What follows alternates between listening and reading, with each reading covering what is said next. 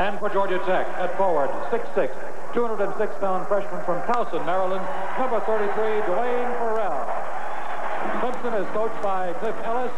Georgia Tech coached by Bobby Cremins.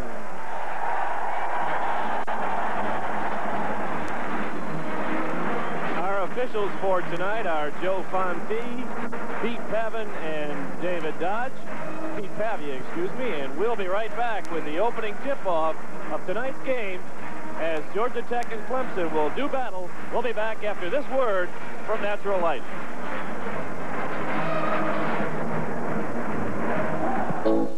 My favorite chicken recipe is the delectable chicken Monica. This is chicken thanks to true art. Hello. Here's how we start. Hello? Hello, Monica. Don't hang up. I'll never do that again. Natural Light, the beer with the taste for food. You know, the blue on the label matches your eyes. Yeah, all natural, less fillings. It's Natural Light from Anheuser-Busch. And the gold on the label matches your hair. In any given neighborhood, at any given time, there's one place that always seems to be a step ahead of the competition. One place you can count on for the latest kind of services. One place you know will have the most up-to-date products. Kind of place we work to be at NCNB. Still, it's our people that will make us the best bank in North Carolina. One neighborhood at a time. There are the matchups for tonight's game, particularly in the front court. We want to watch how things go there, Billy. That has been the strength this season for Clemson, and of course, Georgia Tech's front line, one of the best in the country. It really is, and uh, what you're going to find in this Clemson team, an awful lot of good athletes out there, and what Cliff Ellis has been able to do is get that blend in the backcourt where he's got great size and rebounding ability to go with this tall front line. The opening tap is controlled finally by Georgia Tech. Freshman Duane Ferrell will give it to the quarterback, Mark Price quickly Clemson will start out in a man-to-man. -man. It's going to be Hamilton on Price, so we'll see right off the bat these two All-American contenders going after each other. Pass down inside, swatted out, but Price chased it down in the corner. A little different for Price to go up against Hamilton when Saturday went up against uh, Muggsy Bogues, and two entirely different type ball players. Clemson has used different defenses. They go inside to Salley too strong, but he is was called on Glenn McCants, the Clemson center. Real nice defensive play by Clemson on the overplays until the ball gets to John Salley, and coming over the back is McCants. Salley has uh, grown into a seven-footer, came here about six foot eight and a half, about 180 pounds. Really has built himself up, put on the extra inches, and is now considered by a lot of people as one of the premier big power forwards in the country. Same high school as World B. Free. Mr. Salley hits both free throws, he's had problems from the line at just 51%. This is the up-tempo style of Clemson this year. McCants went up for the shot, and he is whacked by someone. We'll get the official call. They're going to call it against uh, Bruce Dalrymple, his first. One of the things that the fans will have to get used to watching this Clemson team uh, this year, and as long as Cliff Ellis is going to be there, they're going to move the ball up the court in a hurry, take a lot, a lot of perimeter, perimeter type shots off the semi-break. So don't close your eyes when you watch this team. Billy, do you think that's the influence from the Sun Belt or more just Cliff in particular? I think uh, Cliff likes to push that ball up the floor, and it's one of the ways that you can compensate for not having that power center on the inside. McCants is just a 53% free throw shooter, and he hits just about as average as he splits the free throws. Georgia Tech, after the early lead, good pressure, and McCants almost with the steal as they ran the trap on Dalrymple right in front of us. That was a very good half-court trap by Clemson, and not very well uh, adjusted by Georgia Tech. The Clemson people say that Ellis will use a lot of different defenses with his club. May even see a box and one tonight against Mark Price. You're seeing it right now. Box and one with Hamilton on Price. Wanting to give Georgia Tech and Bobby Cremins a lot of things to think about early in the first half. Wayne Ferrell on the baseline. You really have to like that young player and the fact that he uh, aggressively went for that shot. Vince Hamilton coming off a 29-point effort against Appalachian State directs the attack for Clemson. They're going to work it inside to Horace Grant. Rebound, Joseph had it and was fouled from behind. The foul is going to go against Glenn Corbett. Corbett reaching over, kind of a foolish foul right here. You can see McCants is putting it up in a hurry. Corbett's out of this play right now. There's no sense going ahead and reaching in. Obviously no shot. Let's see if they stay in the box and want to go back to the straight man. Mark Price, man-to-man -man defense. Laying off Ferrell a little bit. Good dish off by Price. High off the glass, too strong by Joseph. Here comes Clemson. That's some cross-court pass by Hamilton. Hamilton will direct the attack. You will also see Marshall Grayson coming into the ball game as Mr. Hamilton hits his first free throw. I knew I was going to do that at least once because it's Grayson Marshall. I knew I was going to do that at least once today. Vince Hamilton has one of the highest arcing shots in the country. Very unusual technique, but it goes. Inside, Ferrell with the miss. Hamilton quickly the other way for the Tigers. He pulls and fires over Price. Oh, Good, and shot. the foul to go with it. Same style. It's a very quick shot. He gets it off going on the way up and puts that high arc on. You never see it blocked. And, and it's so unusual that if you're playing him, you don't expect him to release the shot quite so quickly. He's so slender, Billy, you lose sight of the fact that he's got some good physical strength. Uh, he is a solid 6'4". Solid 6'4", a great leaper. Rutherfordton, North Carolina, which is out in the western part of the state, not too far from Clemson. People don't realize that. I took a trip there this uh, fall, and you don't realize how close Clemson is to the Asheville area. There's that half-court zone trap again. Good overall team size by Clemson. Joseph on the baseline for the Yellow Jackets, banks it off the glass. We are tied at six. Here comes the Tigers again. Boy, don't take a breath if you're on defense. Quickly the other way. Dalrymple to Price couldn't handle it. The turnover will go Jackets and give the ball back to Clemson. This is a very hard floor here, and the ball comes off uh, with an awful lot of fire on it. You'll see this bounce pass. Now, on a, a normal floor, that'd have been a little bit softer, and it came up so hard. Back to the action in the corner. Down on the baseline, that's McCants. Nice soft seven-footer.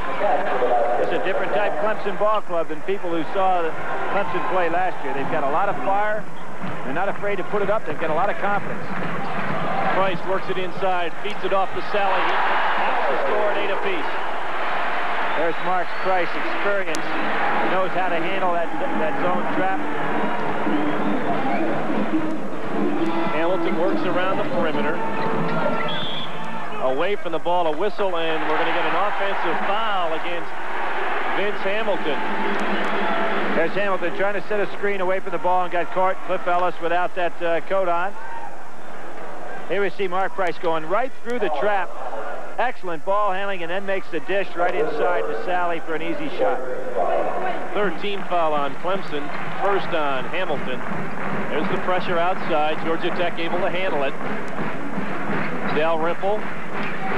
Good ball Work it back outside.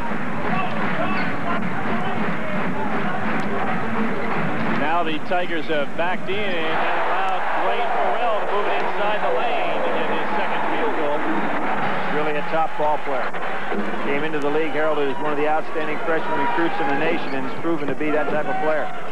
Horace Grant double teamed on the baseline, but Clemson was able to maintain possession. Speed. And we get a traveling violation. Clemson's been able to get that ball inside very well. Good bounce passes and good position inside. We have got timeout on the floor here with 15.56 remaining in the first half. The score, Georgia Tech 10, Clemson 8. We'll be right back.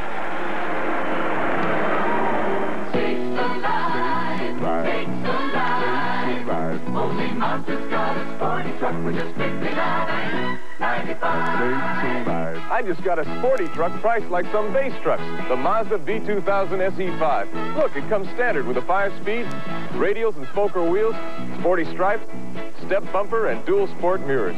Pretty sporty for just $59.95. Sakes alive. Mazda SE5.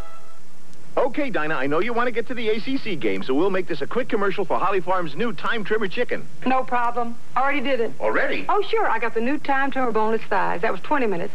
And the breast for 15 minutes. And the golden fried chicken nuggets, that was exactly 10 minutes. Nothing to it. Gee, that's fast, Dinah. Yeah, well, that's why they call them time trimmers. Hey, I really got to Dinah, go. Dinah, I- Oh, I know. America is cooking with Holly Farms time trimmer chicken fast.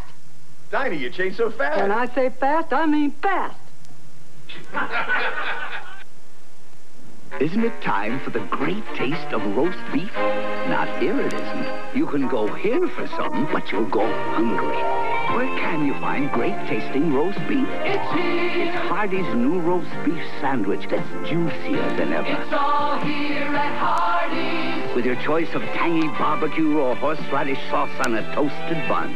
So if you have to ask, where do you get the roast beef? It's here. It's all here at Hardee's. Announcers for this game are approved and selected by Raycom Sports and Jefferson Pilot Teleproductions. Any rebroadcast, retransmission, duplication, or reception to this telecast without the written permission of Raycom Sports, Jefferson Pilot Teleproductions is prohibited. Welcome back to the Coliseum in Atlanta, 10 to 8 in favor of Georgia Tech. Duane Ferrell inside is rejected, but fouled by Horace Grant. Grant on the foul. A real nice block by McCants, though, one man away. See the feed going inside, and Ferrell is a, Ferrell rather is a guy who is really aggressively going to score tonight. Gets fouled on that one. Really like the build on him. As I said, he was one of the leading recruits in the entire United States last year in Townsend, Maryland. Had a reputation at Calvert Hall uh, ever since his sophomore year. Splits the free throws to give him five points on the night and a three-point Georgia Tech lead, the biggest here in the early going for either club. The pull-up jumper from the wing is misfired by Chris Michael, and Price comes away with the ball for Georgia Tech. Salley slipped. The fans here don't like it. They thought that John was maintaining possession. Let's take a look at it. Mark Price again pushing the ball up the floor right there. John Salley tripped, got rid of the ball. I didn't think he was walking. I thought he got rid of the ball before he uh, actually traveled. Georgia Michaels, Tech, excuse me, me, Michaels had two shots from the side, which is the shot he likes on that jumper and hadn't hit it. Hamilton forced that one a little bit. Ferrell comes away with a rebound, but then throws away the outlet pass. Uh, Bobby Cremins's up and cheering in a way, and the fact that he wants to push this ball against uh, Clemson also, but Ferrell made a tough outlet pass right there. Cross court. Didn't have a good angle. Cliff Ellis out shouting instructions to his club. McCants at the top of the circle. Matched up against John Salley as the Yellow Jackets go to the man-to-man. Both of these teams really match up athletically very well against each other. With the exception of the Price-Hamilton uh, difference in height. Good screen that time. A good pick by Horace Grant enabled Mr. McCants to get his second field goal. Five points in the ball game for Glenn, and it is a one-point lead for Georgia Tech. There's that 1-3-1 trap again, half court. A lot of size out there. What a pass inside by Dalrymple, and Ferrell missed the slam. The Price misses, corralled by McCants. The Tigers quickly into the front court. You're talking about run, shoot. These guys will go after it. Hamilton, oh, again. Vince has incredible range with that jump shot, too. As I said, he shoots on the way up, so he has an awful lot of power. And he is not bashful, particularly in light of the fact that his numbers have been increasing as the season has progressed. Ball is kicked. Bill, I want to ask you, think it's a, a psychological thing that he now finally feels totally healthy? He's been battling the injuries throughout his career. That could have a lot to do with it. He's uh, had injuries in both the leg and in the wrist and uh, was outstanding before those injuries, even played well while he had those injuries. So it certainly has to help him a lot. I've always liked him as one of the top players going. Good anticipation on the defensive end by Corbett to come up with a steal. And Horace Grant converts at the other end of the floor. Georgia Tech now is down by three as Clemson's out to their biggest advantage. And in a dogfight. Clemson has never, uh, a coach from Clemson has never won his opening ACC game. This team's here to play. Offensive foul called against Yvon Joseph as Corbett established good position down in the low block. Substitutions coming in for Georgia Tech. Scott Petway into the ball game, 6'6 senior. Also joining the action, seven-foot freshman Antoine Ford. Ford is coming on a, a lot better than Bobby Cremins would have imagined. When it gains a little bit of weight, he's going to be almost like a, a similar to John Salley in style of play. Dalrymple with a steal. Michael took it back. They go inside to Grant for the easy lay-in. By five with 13.05 to go here in the first half. And they're staying in the 1-3-1 trap as long as it's successful. Dalrymple dribbles through the pressure all the way to the hole. That really shouldn't happen, but Dalrymple, very much like Ferrell, is a very gifted athlete at his size. Top of the circle, Chris Michael. Grant works over Joseph. Thought he got whacked, no call. The rebound to Petway. Price quickly pushing it ahead. And Dalrymple Dalrymple's listed at 6'4", but when he gets inside, he plays like he's about 6'6", 6'7". Good patience that time, Billy, because he had trouble controlling the pass. On the move is McCants, and he is stripped of the ball by Antoine Ford. Here comes Dalrymple. Mark Hasn't hit anything from the outside yet. Hamilton has uh, been sticking right with him. Now Clemson goes back to the straight man-to-man. -man. They're wiping up the floor on the other end of the court. And that's why they stopped the clock. And that will enable Clemson to bring in Grayson Marshall there. Super freshman out of the Washington, D.C. area. He's another great prospect. Well, he really is. He came in rather unheralded in terms of his high school stats are not uh, eye-shattering in regard to the fact that he only had about 16 points a game but he knows how to play the game. He actually, behind Hamilton, is the number two guy in regard to minutes played, so Cliff Ellis has a lot of confidence in him. John Salley has returned to the lineup for Georgia Tech. Yvon Joseph getting the breather. Out of two-free zone by Clemson. Dell Dalrymple trying to work it into Salley, and somehow he just lost the ball on the dribble. It's a hot floor here. The ball really bounces. We have got a timeout here at Georgia Tech with 11.51 remaining. The score, Clemson 16, Georgia Tech 15. We'll be right back. The Atlantic Coast Conference has become known as the Conference of Champions throughout the United States. Champions because the coaches and players in the ACC have set a standard of excellence in collegiate standard of excellence in the supermarket business with our quality products, with our 6,800 low prices, and with the people who serve you. Why not visit one of the hundreds of Food Lion stores soon and meet some of our champions?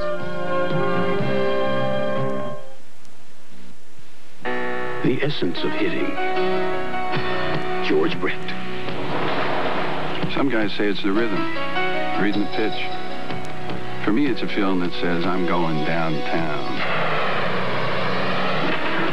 The essence of shaving. This is Atra by Gillette. It pivots so the twin blades stay on your beard longer. But what Atra is all about is the feeling that says you just got Gillette's best shave. Gillette, the essence of shaving.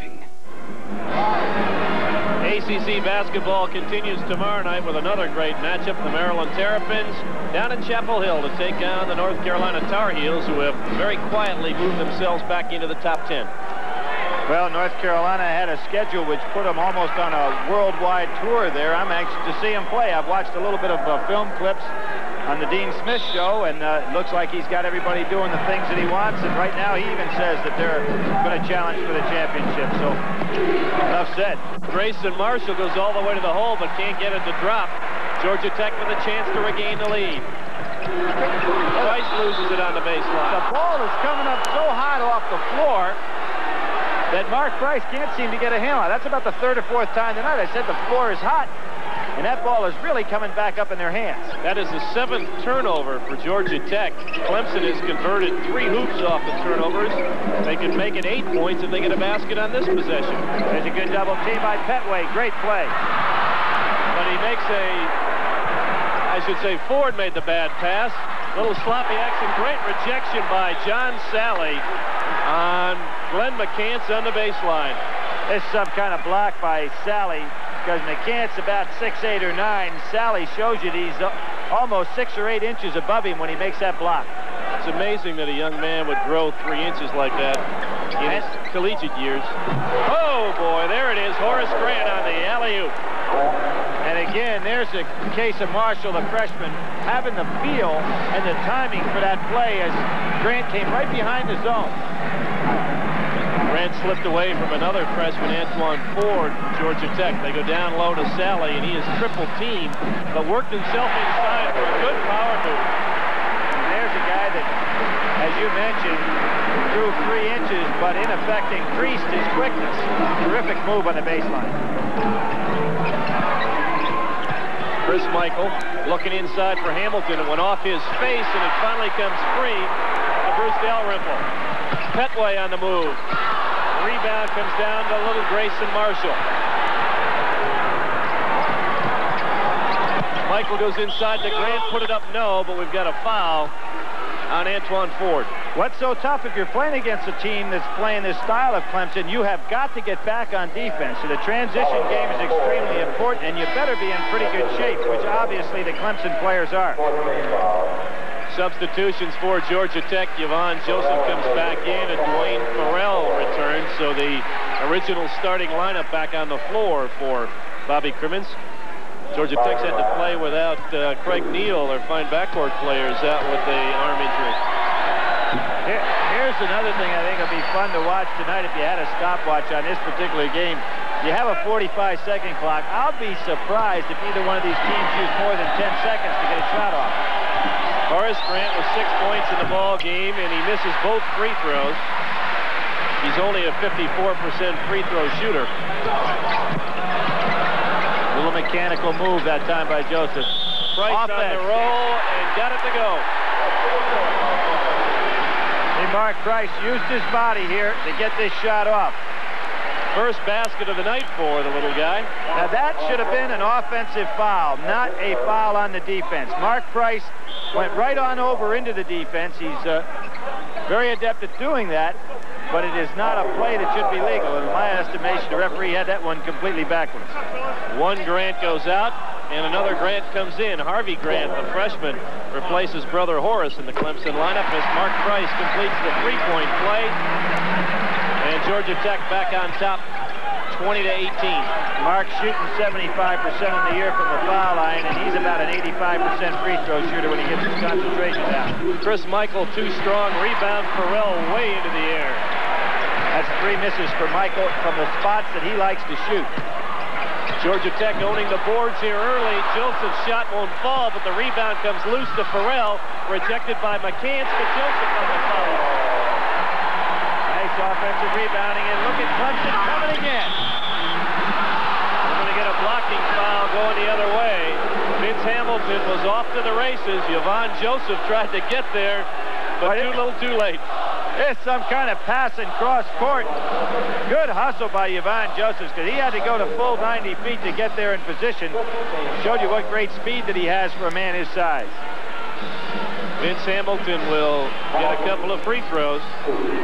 Leading scorer on the night thus far with seven points. You see the shooting percentages.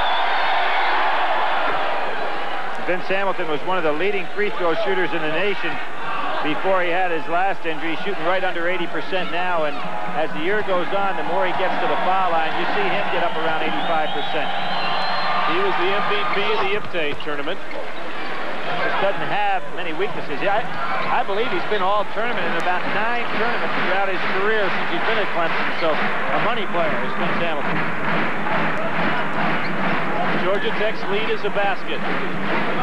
Ferrell can't get it to drop, and Harvey Grant comes away with the ball. Here comes the Tigers on the fast break. A good hustle defensively by Duane Ferrell.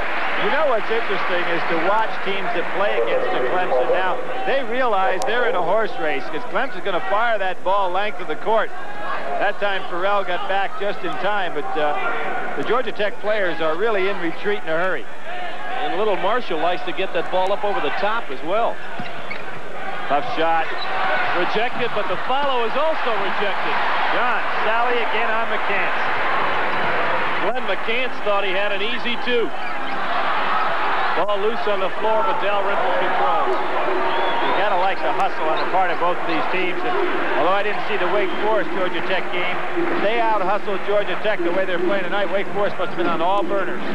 Price inside leaves it short, got away with going over the top of Marshall. The rebound went out of bounds, and they say it belongs to Georgia Tech.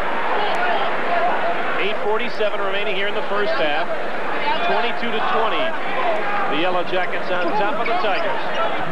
They get back in the zone on the out-of-bounds situation. Yeah, they're really confused now. They got some playing man-to-man. Maybe they're in a little diamond. They are.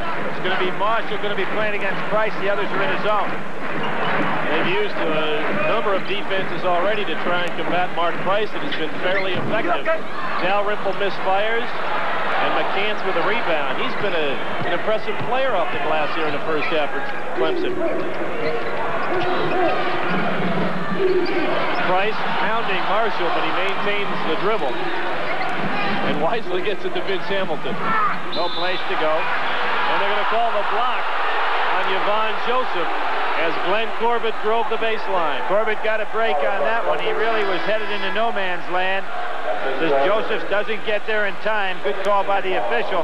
And that's the third foul on Yvon Joseph, so we'll probably see more of Ford.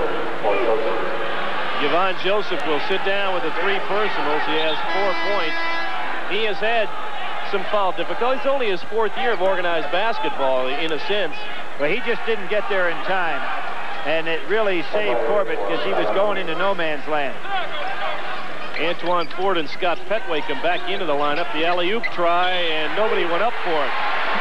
And that was kind of tough to throw that one from that far away. The, Marshall got by with it the last time down the floor that he tried it in the out-of-bounds situation, but that's a very difficult pass. Interesting that we have seen Scott Petway on two occasions here in the first half, Billy. Do you think uh, Bobby Cremins is concerned about a, a, size factor out there with Dalrymple? Well, maybe he'd like to have uh, a little bit more experience on the court right now. Petway understands the game, very knowledgeable player. Seasoned veteran in a conference game, you want those kind of fellows on the floor. You saw the graphic a few moments ago about the turnovers. You would expect in a high-paced game like this. Salley misses, and Ford on the follow. Ford and Salley play mighty tall. They're listed seven feet, but they keep their hands above their head very well. So they play even bigger than that. McCants did not want to try and go over John Salley again. Harvey Grant double clutches and gets it to go. Has he improved from last year, or has he improved? He was a floundering freshman last year. He's a pretty good-looking sophomore right now. Duane Ferrell goes up top to Ford. A couple of freshmen. Petway open on the wing.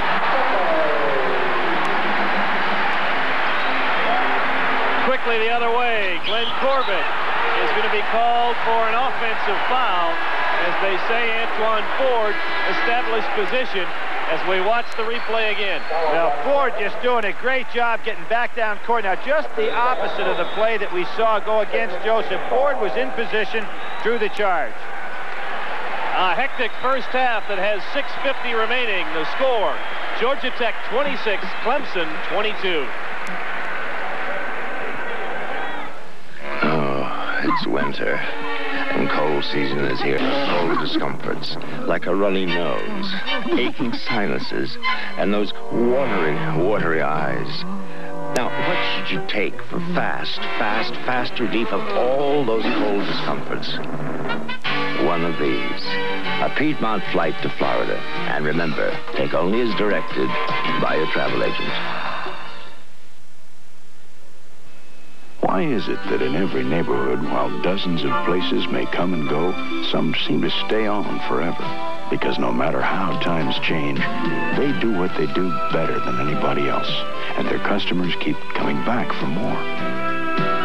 At NCNB, we know that what works for other businesses works for banking. So if we're going to be the best bank in North Carolina, we have to work at it. One neighborhood at a time. 6.50 remaining here in the first half as Georgia Tech and Clemson with Georgia Tech on top by four as Jack Corgan and Billy Packer are here to bring you what has been a hectic first half of action. Yeah, both teams moving up the court very well. I'm really impressed in regard to the conditioning of both of these squads because the pace is really strong. If you don't get yourself back on defense, you're going to be some easy layups, but neither team has given that away so far. So, you know, one of these clubs have got to tire down a little bit. Georgia Tech's been going to the bench a little bit more than uh, Clemson, and I would expect it's got to help them as this game wears on. Remember, stay tuned at the end of the game. We'll be picking a Holly Farms player of the game from each school. The long lob inside for Ferrell was picked off by Horace Grant. Chris Michael the other way. Gets it to drop with the shooter's touch. Now that's the shot that you want to see Michael hit. If you're sitting over on that Clemson bench, he missed three in a row, and that's the spot he wants to shoot from. Good double teams again in that 1-3-1 trap. Now Clemson goes back to a 2-3 zone. Turnovers have plagued Georgia Tech somewhat here in the first half, although they remain on top. That is the 10th turnover unofficially here in the first half. Clemson has converted it into eight first half points already. That's two on Petway in a row, and he'll probably be sitting down here real quickly. Corbett directs some traffic outside. Corbett showing good patience. He hadn't been scoring much. Vince Hamilton has been. Vince Hamilton with 11 to lead all scores. We are deadlocked at 26. And another turnover. You know, that ball is coming up off that floor. The guys are just turning it over by, on the catch off the dribble, which is very unusual. Horace Grant, too strong. Rebound is swatted out of bounds off of Georgia Tech. Raymond Jones got away with a push that time on the inside. The first time we're seeing Jones. Shot goes up. There's the push underneath. Raymond can't quite control the ball. They say it went off of Scott Petway. Reset on the shot clock and an inbound play for Clemson. I look for Corbett to go ahead and start getting in the offensive flow. Hamilton again. Rebound Jones. Yes. Good catch. That's a good, strong rebound, one-handed. Interesting thing, Billy, talking about the turnovers and the problem with the dribbles, it's the home club having the trouble. You think that would be a problem for Clemson? Well, you wouldn't think that uh, it would be a problem for anybody, but the ball just seems to be so hot. I mean, when you see a Mark Price lose control of a dribble, that's very surprising.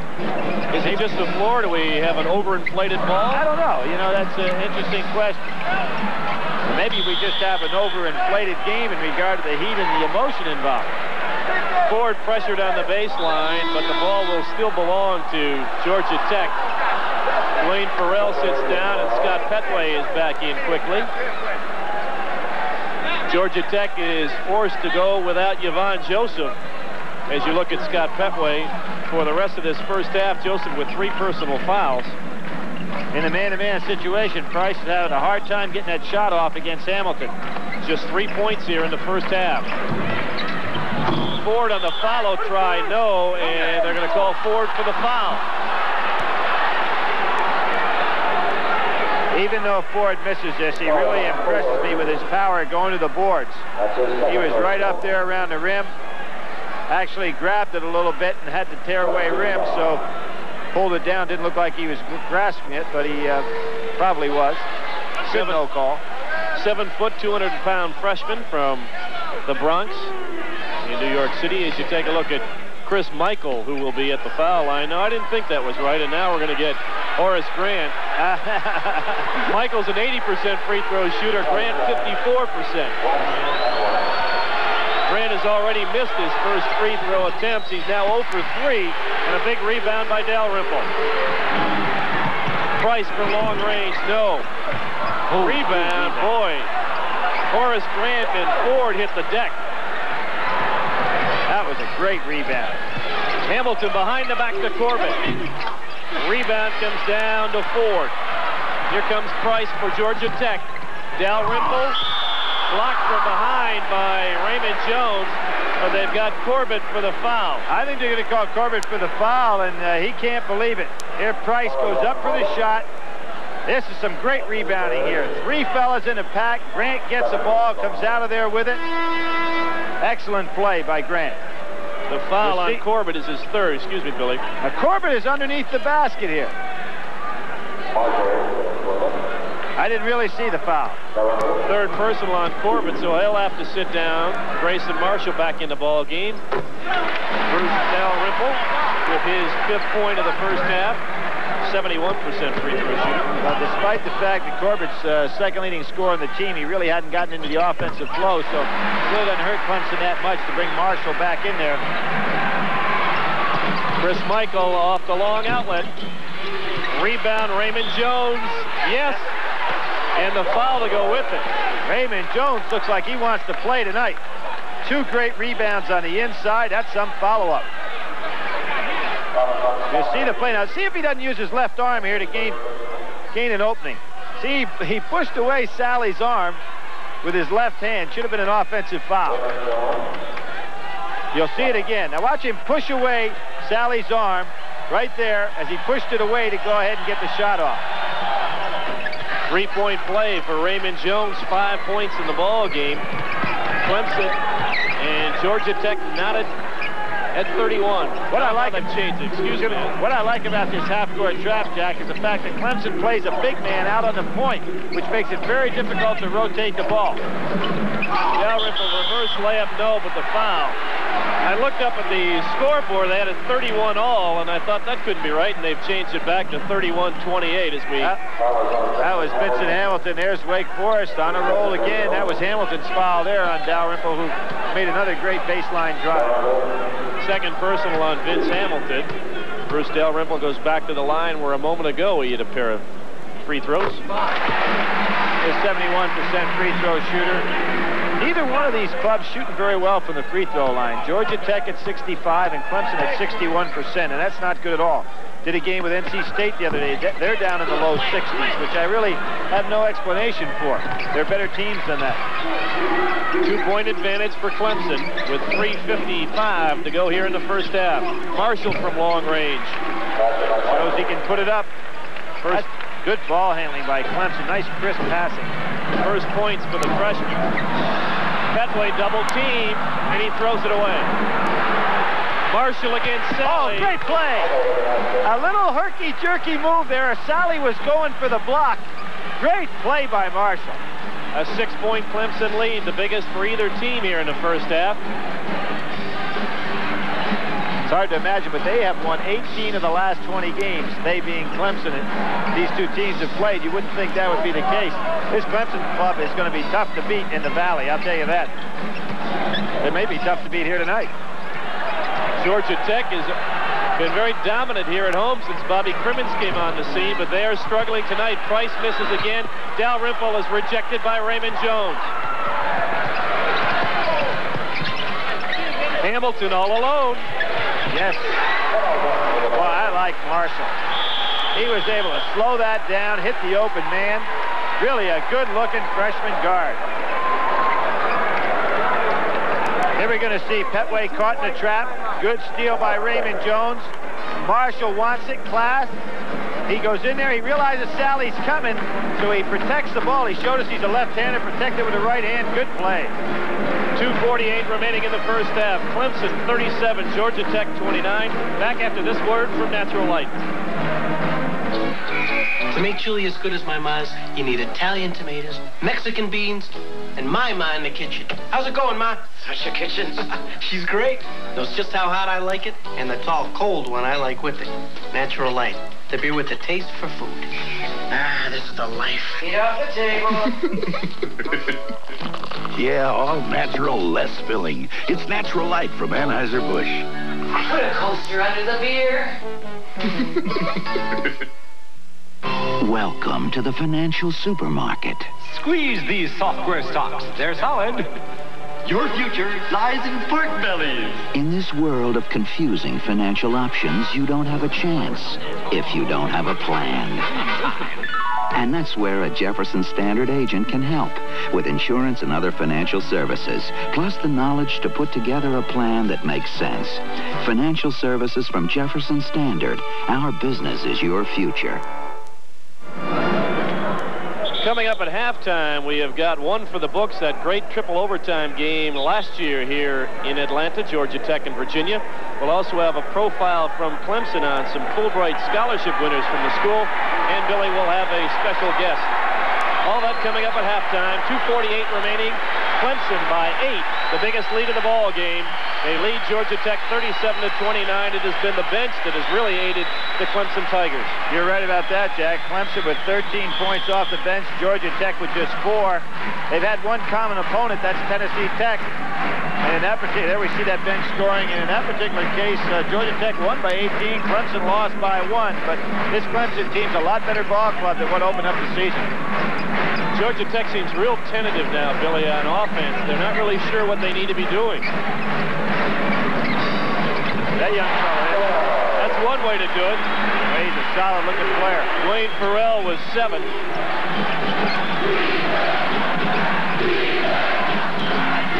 Baseline, Raymond Jones, no rebound, volleyball to John Salley. Both teams looking to push that ball up the floor. Ferrell is hammered as he went to the hole. It didn't seem to bother him.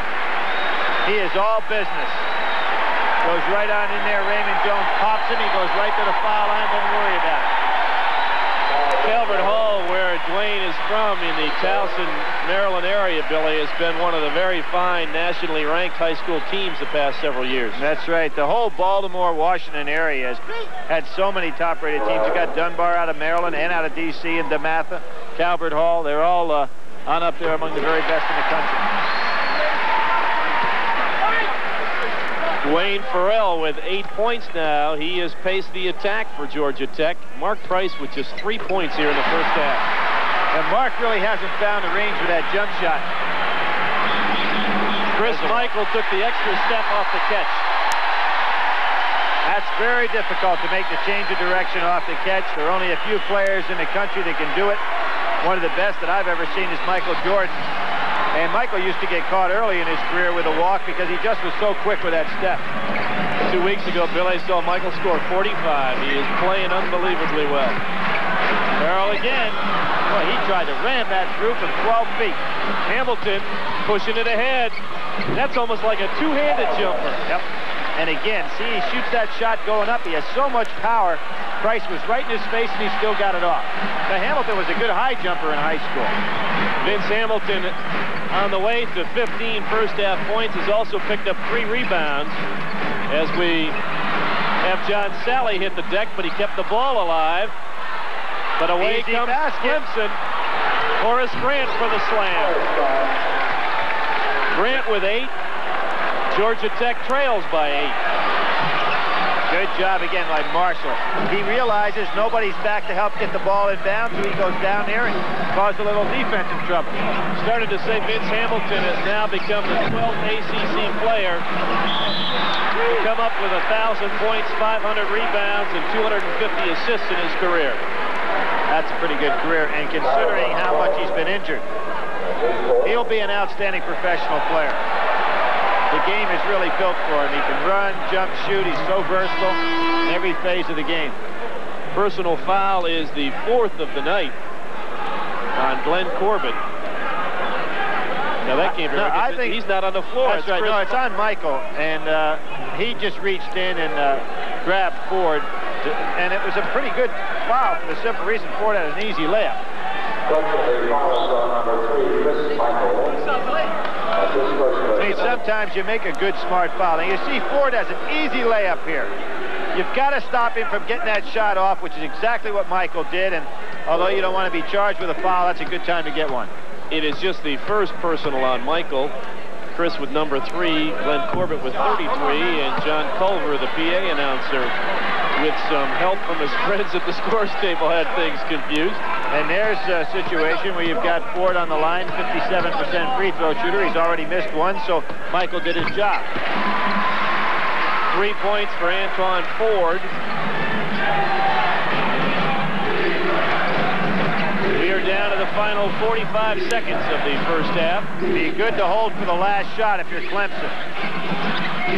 They can use all but eight seconds of this remaining time. Be smart to hang on, let it work right down to the end as far as they can go. On the baseline, Horace Grant is fouled by John Salley. Be Salley or Ford. There again, Grant doing a fine job taking the ball to the basket. I just thought with a with a nice seven-point lead, going on the inside, up for the block. Block goes Ford. It is uh, Ford's foul. Antoine Ford rather than John Salley with the foul. That is his third personal. So there have been some problems in the pivot in the personals department. And coming into the ball game for Georgia Tech is Jack Mansell, a 6'8 junior out of Sharon, Pennsylvania. Well, good move by Bobby Cremins. Doesn't want to pick up another cheap foul on any of his big people because he has Joseph in some foul trouble also. Horace Grant with nine points here in the first half. Gets the roll for 10. 30 seconds to go. The clock not a factor. See if Georgia Tech goes for one. Down nine. Got a guard against the turnover and let Clemson get into double figures to go into the locker room. Mansell with a good head fake. Be surprised if he takes the shot. Salley inside. No follow. Yes by, I think, Duane Ferrell. Three seconds. Marshall will fire. And that'll do it. Boy, end-to-end action here in the first half at Alexander Memorial Coliseum as Clemson surprisingly out to a seven-point advantage over Georgia Tech, 43 to 36 here at halftime. And Billy, quickly, it has been a very, very fast-paced first half. It really has. I'm very impressed with the way Clemson changes their defense, the way they move the ball up the court. They're a team that'll have to be reckoned with. They came into a tough place to play, but they're ready to play. I think one of the things that'll be of concern for Bobby Cremins at halftime, how do you get Mark Price into the offense? He's had a difficult time. He's had Vincent Hamilton on him when they're in the man-to-man. When they, uh, being Clemson, are in the man-to-man, he can't shoot over Hamilton very well, and he's had to handle the ball against that 1-3-1, so he gives it up, and the other men will have to do the scoring from the wings. The other side of the ledger, how do you stop Vince Hamilton? Well, I think he's a great basketball player. Everybody in this league has known that for quite some time, and I think you made a good point, Jack. When he's healthy, which is the first time we're really seeing that in a couple of years now, he can play with anyone. So Clemson has been in great shape. Georgia Tech struggling here a little bit. Cliff Ellis, uh, maybe he's going to get over the jinx of a Clemson debut in the league to come up with a victory. Well, another half to play. Tough place to win a game in here, so we just have to wait and see. But I think all fans of the ACC have to be impressed with this first-year coach in the league. He's going to put a very good quality product on the floor. So we've got lots of halftime activities for you. It'll be one for the books, a great Georgia Tech-Virginia triple overtime game from a year ago, a profile on some Fulbright scholarship students from Clemson, and Billy will have a special guest. All of that coming up here at halftime. The score, the Clemson Tigers 43, Georgia Tech 36. Back with more right after this. Isn't it time you experienced the outstanding total performance of the Mazda RX-7? Because only then can you feel the seemingly unending flow of power from its unique rotary engine and experience exceptional handling from its near-perfect weight distribution. Only then can you appreciate its aerodynamics at work. Only then will you understand why the RX-7 has become a legend in offering superior sports car value. Mazda RX-7. Experience it. Presenting Piedmont's Family Fares. When you oh, buy a full fare adult ticket, you can take your spouse along for as little as $49 each way. And your children ages 2 through 17 can also go along for just $49. Piedmont's Family Fares. We've taken a lot off our prices, so you can just take off. Call your travel agent for details.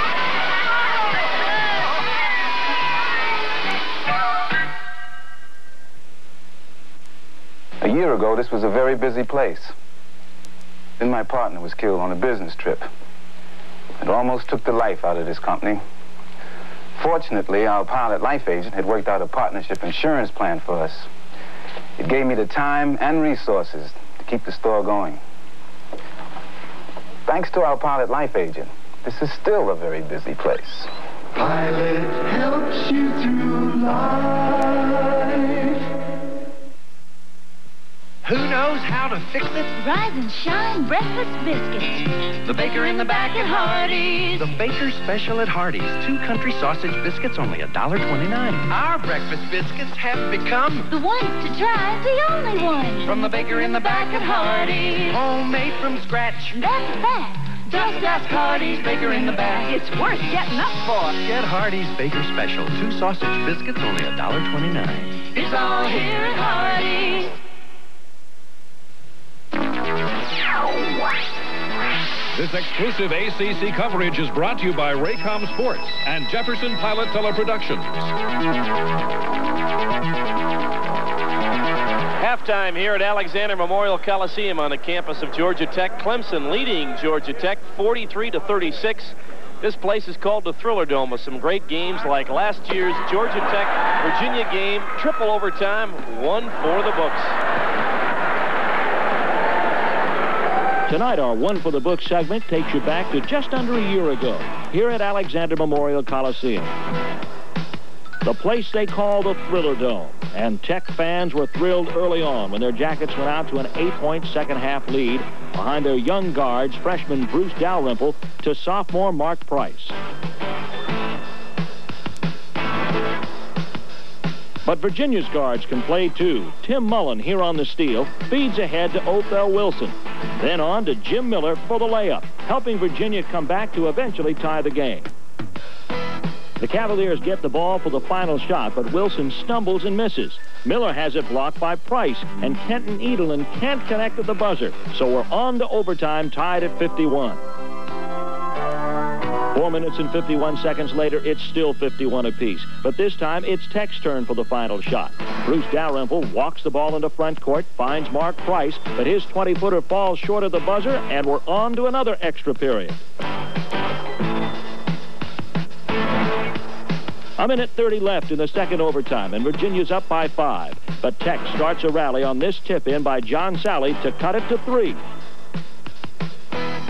On the ensuing inbounds play, Tech presses, and it works. Price layup cuts it to one. Just seconds remaining. Junior Yvon Joseph hits the free throw, and overtime number three is coming up.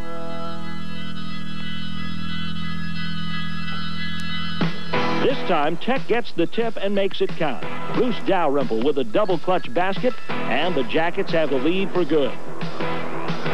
And when Othell Wilson hits the back iron at the buzzer, Tech has escaped with an incredible triple overtime win, 72 to 71.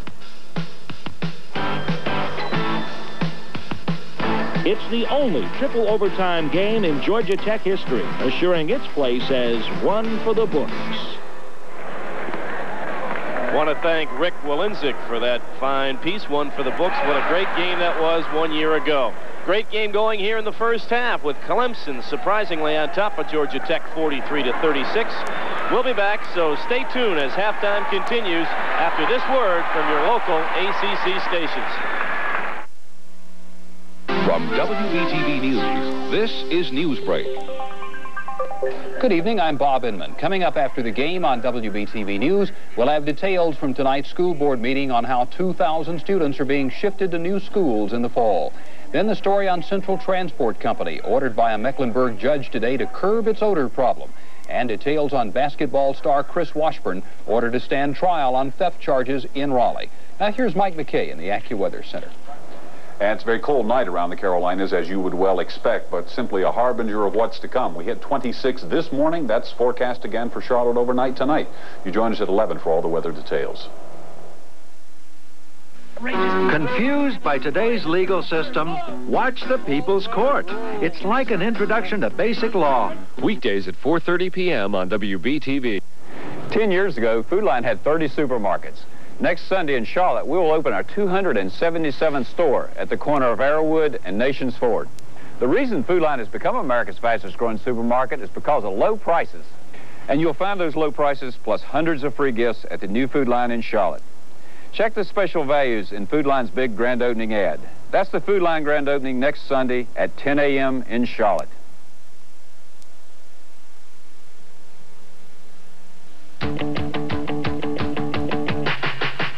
Milk's got the kick that gives you more.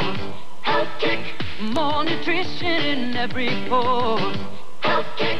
The calcium in milk helps me stay in shape. I'm looking good, baby. Feeling great. So get on a health kick, let it pour. America's favorite health kick. Get on a health kick, milk's got more. Have more milk, cause milk's got more. WBTV reaches out to Lancaster. Billy Packer bringing you an exciting first half. Clemson and Georgia Tech with Clemson on top 43 to 36. And we are now going to take a moment here to profile some of the fine academic programs at Clemson, featuring six Fulbright Scholarship winners from Clemson University. And the nominees are Annette House, Morristown, New Jersey, Textile Chemistry. Nancy Snow, Greenville, South Carolina, Political Science. Kathy Heinsohn, Folly Beach, South Carolina, Zoology. Deborah Savage, Columbia, South Carolina, Chemical Engineering. Russell Caldwell, Crosswicks, New Jersey, History. Catherine Cole, Marietta, Georgia, Foreign Languages. And the winner is... All six of them. These six Clemson University students were chosen for Fulbright scholarships for the fall of 1984. Six of six, a phenomenal achievement. For the next year, they will study in Germany and France and do their part to increase mutual understanding between the people of the United States and the people of other countries. The Clemson Fulbrights. Everybody wins. Clemson University and Young Minds, working together for you.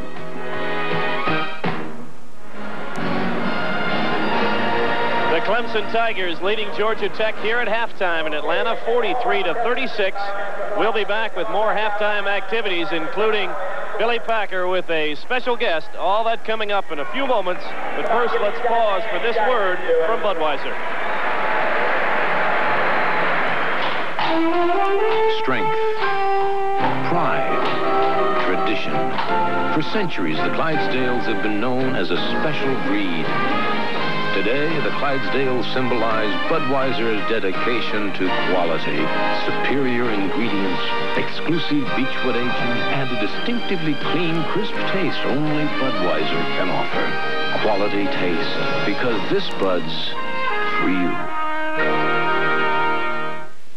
Dinah, let's tell people about the Holly Farms ACC Tournament Sweepstakes. You know, ACC fans can win four tournament tickets, a trip to Atlanta, and luxurious hotel accommodations at the beautiful Ritz-Carlton downtown. Free tickets to see those gorgeous guys? Where do I enter? well, all you do is look for entry forms and details at your Holly Farms retailer's display. What do you say to that, Dinah? America is cooking with Holly Farms and the ACC. what a team. Introducing Gillette Foamy Gel. The gel that gives you more than any other gel. More lubricants. Better beard setup. More lubricants. Smooth takeoff. More lubricants.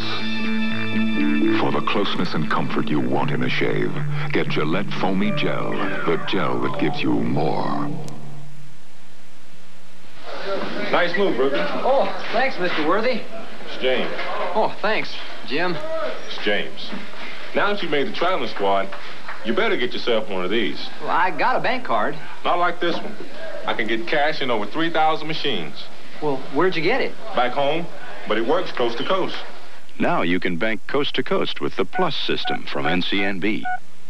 Well, gee, how do they do it, Mr. Worthy? Beats me. Must be magic. This live coverage is brought to you by Budweiser, by Piedmont Airlines, by Subaru, by Food Lion, by Jefferson Pilot, by Hardee's.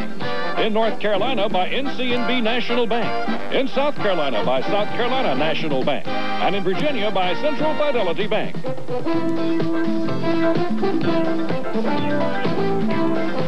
Well, we take a look at that score, 43-36, and for this young man right here, Craig Neal, Craig, you'd rather have that score the other way around.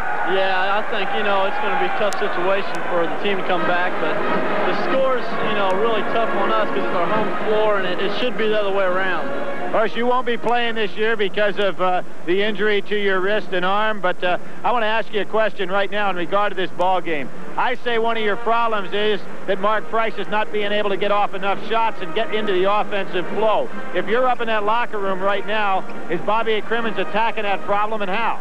Yes, sir. I think I think that's the main concern. You know, I think we have to have Mark Price score to be a good ball club, and right now he's not doing that. And uh, we're going to try to get him in more into the game, and uh, they'll probably bring him on the baseline a lot. And uh, hopefully we can get him the ball and get him into the game, and once he's in the game, he makes us go. You're a pretty good basketball fan and a good student of the game, I can tell from talking to you. How about the Clemson team? You played against them last year. They've got some good athletes, and this is a good ball club you're playing. Yeah, they're a really good ball club, and I'm really impressed with how Coach Ellis is handling them. And uh, I think Vincent Hamilton's probably one of the better players in the country, and they're doing a good job. Well, I want to wish you the best of luck in the quick healing process there. We'll look forward to seeing you back on the court next year. All right, thanks a lot. Thanks an awful lot. I'd also like to bring in another fellow with us, a guy that everybody in the Atlanta area knows and around the country, Furman Bisher. And Furman, you said this basketball game confusing you a little bit, but I want to ask about something all the fans in the area have to be confused about. You were one of those guys that picked BYU as number one in the nation in Who football. Well, I understand. You told me, all right? How about that process of picking the uh, national champion in the polls? What do you think about it? Uh, Billy, as far as I'm concerned, they can put the polls away and I'd never miss it. I think the United States would because I've never seen such a furor in my life raised over such a thing, which should be fairly trivial as picking a number one football team in the United States. I know you did your homework because you told me you didn't get a chance to see Virginia in a bowl, and, and that, that's got to be something. You go back a long way. Did you expect to see Virginia finally make it to a bowl game? Never in my life. Uh, I tell you, George Welsh has done a heck of a football job at Virginia. Uh, but I never expected to see Virginia's football team come up on the same level as a basketball team. No, I had to go to Miami. I had seen BYU, and uh, I was on the Football Writers Association committee to pick the number one team. So I felt I should be where the next most likely number one team might come from. You think So I- someday we're going to see the national championship in football? No, never, we'll ever. I don't think so. Because opinion is what forms the poll. Opinion is still going to be involved in uh, the process of picking who makes the playoffs. So you still have a, you're still going to have an argument. Well, we appreciate you stopping by. I hope this second half's as good as the first one. Jack, back to you. Thank you very much, Billy. At the conclusion of this game, we'll be selecting an outstanding player from each team as the Holly Farms Player of the Game. Holly Farms will contribute $1,000 to the Atlantic Coast Conference to be distributed to the institutions under a conference-approved plan in the name of these two players. At the end of the season, each player winning the Player of the Game award will receive a plaque from Holly Farms recognizing this honor. Here are the Hardee's halftime stats from a first half of action that was fast-paced. You can see some outstanding field goal shooting for the Clemson Tigers, 53% from the floor. Clemson has not allowed a team this year in 10 games to shoot 50% or better from the floor. They did it to Georgia Tech in the first half. As you see, just 42% from the field for Georgia Tech. Also, the turnover ratio, as Tech has had some problems protecting the ball. Looking at the individual scoring, Vincent Hamilton pacing the way for Clemson with 15 points. Horace Grant also into double figures, while the Georgia Tech Yellow Jackets have seen most of their points in the first half coming from freshman Duane Ferrell and sophomore Bruce Dalrymple. But you look down there and see Mark Price with just three first half points. Second half will start right in front of us as Glenn Corbett will inbound the ball to his leader, Vince Hamilton. Clemson on top by seven as the second half gets underway. The front court, Hamilton will fire from long range. The rebound goes into the corner to Price. Georgia Tech trying to push it ahead quickly. Salley, no. Rebound. Comes down to the Tigers. Glenn McCants. The pace remains frantic. It will count. Horace Grant with the shot. Yvon Joseph with the foul, his fourth. Pass on the inside. Grant catch that ball in traffic. Takes it in, lays it up softly off the glass. And what really made the play is when Vince Hamilton threw that cross uh, court pass on over to Corbett to get everything started. And that's something very unusual that Clemson has in their makeup. Most teams like to throw that ball down the same side of the court. Clemson has a tendency to really like to throw it cross court. The only other coach that I know that does that a lot nationally is Billy Tubbs at Oklahoma, and it's very effective. Grant misses the free throw, but Clemson comes away with a rebound. Clemson by nine. Grant makes it 11, and it could be 12. Good, quick move by Grant. Billy, we saw Clemson a couple of times last year, and this guy who we're going to watch again on the replay, Horace Grant, has made phenomenal progress. He really has. The positive attitude of the Clemson team is uh, is really great to see. I mean, this this takes the league. When you take Wake Forest and put them and Clemson in a position to be able to beat Georgia Tech, the team that I really thought had the best chance to win the league this year, you can see the balance makes for a great basketball throughout the winter. 12-point lead, the biggest for either team, and Georgia Tech throws it away again. Antoine Ford comes in the lineup. Watch the turnover. Had a pretty good idea on the part of Salley, but Price just couldn't get there. And as Craig Neal said at halftime in our interview, Georgia Tech has got to figure a way to get Mark Price into scoring territory. Georgia Tech in the man-to-man. That's McCants against Salley. Boy, good pump fake. Glenn McCants was seven, and it's a 14-point lead for Clemson. This is where Georgia Tech found themselves against Wake Forest. Getting way behind, and now the pressure starts to mount. When you're playing at home and you're the favorite team in this league, you've really got some real problems. Dalrymple knows Salley will follow.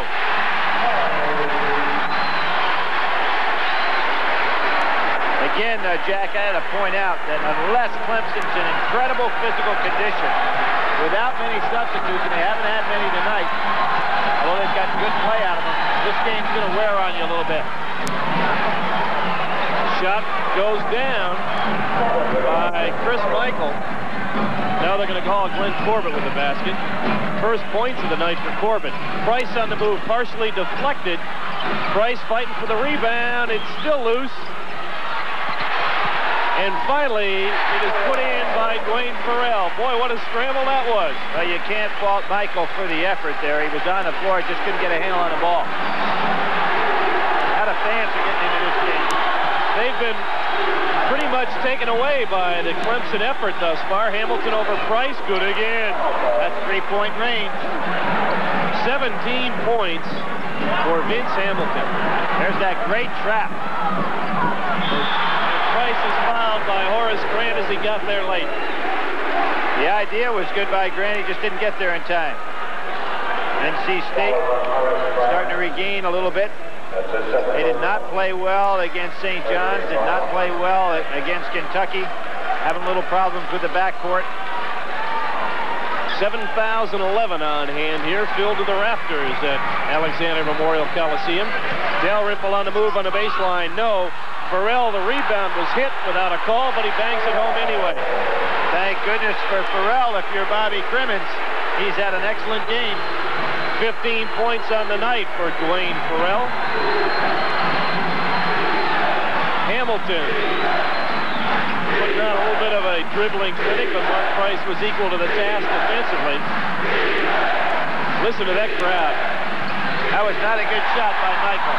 First time he forced something tonight. Dalrymple tried to force it inside, swatted out of bounds. Very interesting. I noticed that time with Mark Price, but I've seen a couple times. There are times when he comes down the floor and he almost is running on his heels, very stiff. Um, but when he's going to fast break, he's up on his toes. I don't know if it's his way of catching his breath or looking at the court differently or what, but I thought it was rather strange. Well, he has some odd sneakers on out there. I've never seen them before. So check that brand name out. Turnaround by Ford, no. Rebound, Vince Hamilton. Corbett chases down the errant pass and banged off the glass by Glenn McCants. Now, one of the things that you say, well, what does a coach do? It's very obvious that the Clemson inside players have worked on fundamental techniques for that turnaround shot on the post. But they do it as well as anybody I've seen. Another Georgia Tech turnover. Michael on the baseline. That's his shot. There's the difference. Bobby Cremins has got to go for a timeout, and he is getting worn out. They did not expect Clemson to be at this pace. Clemson has been running Georgia Tech ragged, 58-42. The Tigers on top. We'll be right back. Oh, it's winter. And cold season is here again. And you could find yourself suffering from any number of cold discomforts, like a runny nose, aching sinuses and those watery, watery eyes. Now, what should you take for fast, fast, fast relief of all those cold discomforts? One of these. A Piedmont flight to Florida. And remember, take only as directed by your travel agent.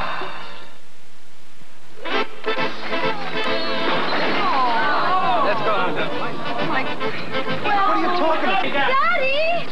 Please, stop. Nothing is going to ruin this wedding. So if it takes all night, I personally will drive each of you home in my car. My Subaru. Drive a Subaru with on-demand four-wheel drive, and don't let the weather spoil a good time.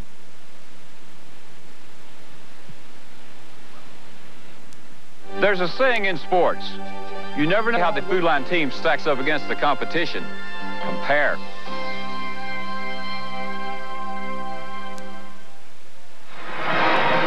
Fifty-eight to 42, Clemson on top of Georgia Tech, and Mark Price having his problems. Well, he is, and what's uh, happening to Mark Price now? He only has three points, but even more important than that is the fact that he has not been able to get himself in position to do any shooting. When you've got a good scorer, you want to get him to the point where he can get off a number of shots.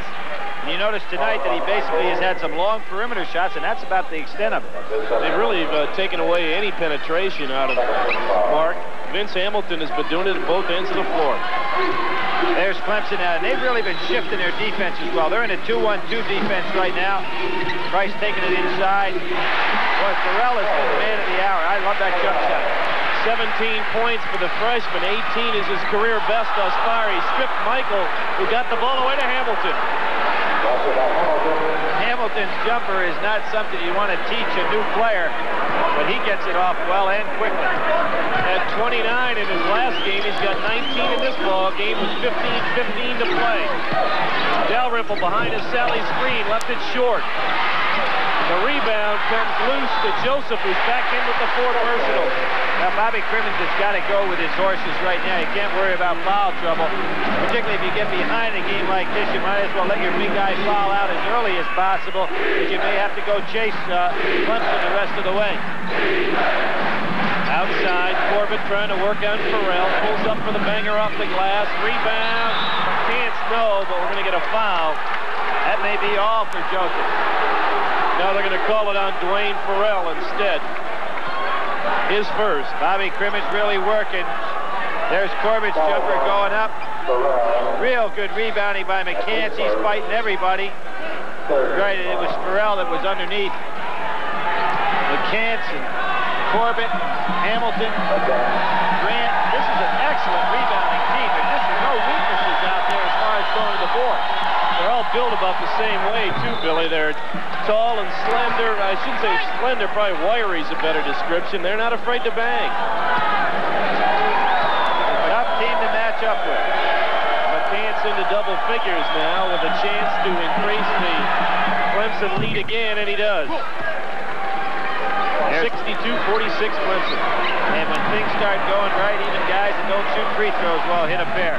Clemson now goes back to that half-court 1-3-1 trap. Dalrymple, good pass to Salley. It won't count. They're going to call McCants for the shove. Well, that was good one-touch passing. It really was. And again, Mark Price, the guy that, that gave the ball up. Dalrymple saw Salley on the inside, and instead of getting two, though, the ball merely goes out of bounds. Second personal on Glenn McCants, three on Clemson as a team here in the second half. There is Cliff Ellis working hard. Price from long range, in and out. Not hitting that jumper, and that's a downtown jump shot he's putting up there. Now remember when Price was the such a big scorer as a freshman. Georgia Tech set up about 70% of their offense to go ahead and get him that jump shot behind the screen. Tonight he's one for eight, most of them from long, long range. And Clemson in the zone will let him take it until he can demonstrate that it's falling for him. Ferrell with a double clutch. No, Dalrymple kept the rebound alive. Clemson almost with the breakaway, but Hamilton couldn't control, control the outlet pass. Billy talking about Mark Price. He shot very, very well in the Rainbow Classic, but going into that tournament, he was shooting at about 40% from the field, so he has had problems from the outside. Well, everybody knows he can shoot. I would say it's shot selection and getting into the flow of the game more than him being off on his jumper. There he's one for nine now. Off the spur of the rim, Salley with a good pass to Ferrell, blocked by McCants out of bounds. The fans wanted a foul here in Atlanta. Well, Jack, you talk about some quick leapers. Clemson's got him on the inside. Ferrell goes up, excellent block by McCants, and then he just smacks that ball out of bounds.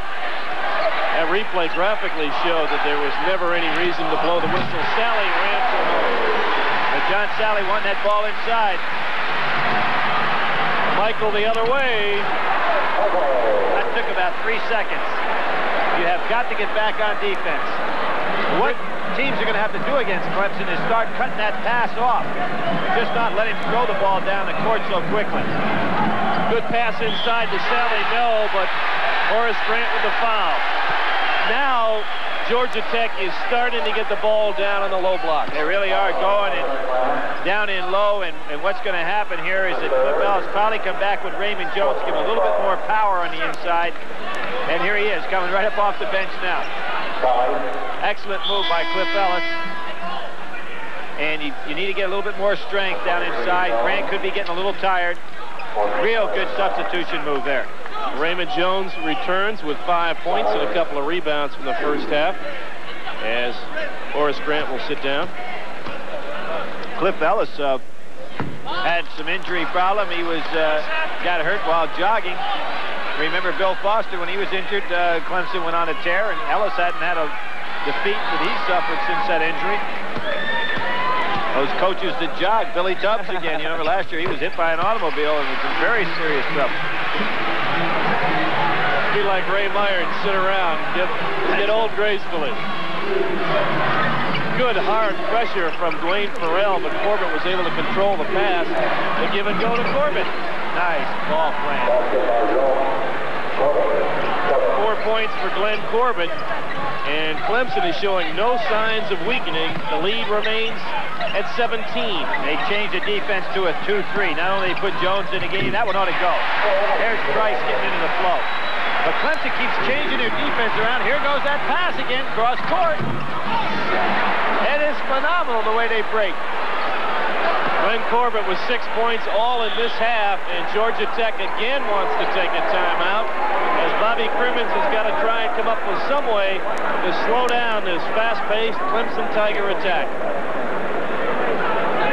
Take a look again at Mark Price finally getting the hit on the baseline. Well, he got an opportunity to get in the movement and the flow and gets that shot off going to the basket. Stays right with it. I, I don't have any fault in his shot. He just doesn't seem to be in the flow of the game. Clemson 68, Georgia Tech 51. We'll be back with more from Atlanta after we take this timeout. Being a Jefferson Standard agent does have its drawbacks. George, tell me about Universal Life. Fortunately, there's nothing we like more than helping you plan for the future. Would you recommend stocks or mutual funds? With insurance and a wide range of financial services. Hey, George, you got a minute to talk about IRAs? So when you have a question about your future, ask one of our agents about financial services from Jefferson Standard. Hey, George. Our business is your future. Now, that's a beautiful car. Thanks. I just washed it. Well, now you can clean the engine. Let's not get carried away. No, I mean, now Union 76 gasolines have an improved additive that actually helps clean your carburetor better. Oh, you're kidding. The gas does that? Fill it up. Right. So your engine runs cleaner and performs better. Incredible. At last, a weapon against crime in the streets. Crud under the hood. Manifold parasites. Let's not get carried away here. Sorry. Fill her up with spirit. Or a cleaner running engine. The spirit of 76.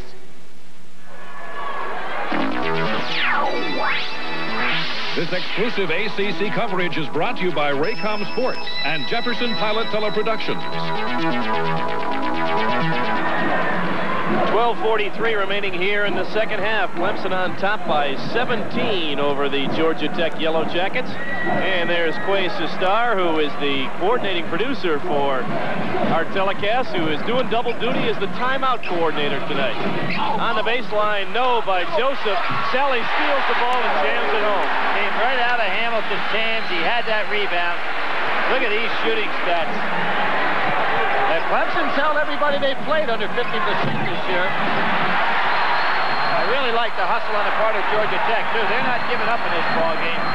Price on the move. Good pass to Dalrymple, got away with a carry. The follow by Ferrell. No, the rebound, Raymond Jones. And here they come.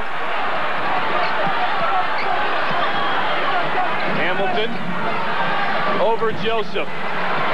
Vince Hamilton with 21.